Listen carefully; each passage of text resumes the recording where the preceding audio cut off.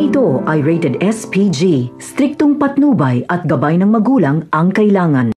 Matatakasan nga nila Supremo ang kamatayan sa mga kamay ni Agustus. Gagawin niya ang lahat para makaganti. Ngunit hindi ito magiging madali dahil napakahina ng kanilang puwersa.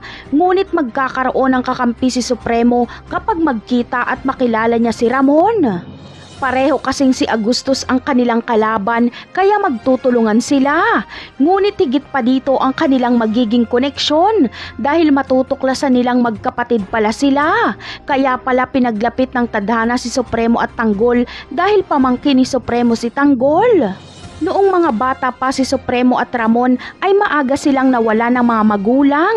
Sa kalsada sila tumira hanggang sa nagkahiwalay ang kanilang mga landas. Si Supremo ay naging mandurukot noong bata pa lang at noong naging binata ay sumali ito sa grupo ni Agustus bilang mga big time na akyat bahay at mga holdapper. Habang si Ramon naman ay nakita ni Don Julio sa kalsada at naawa siya dito. Inampo niya ito at itinuring na parang tunay na anak. Wala kasing anak si Don Julio kaya sinanay niya si Ramon sa kanyang mga iligal na negosyo dahil ito ang kanyang tagapagmana. Hindi kasi itinuring na anak ni Don Julio ang isa niyang ampo na si Olga dahil nagtaksil ito noon. Umibig kasi si Olga sa isang lalaking traidor na kalaunan ay pinatay din ni Don Julio.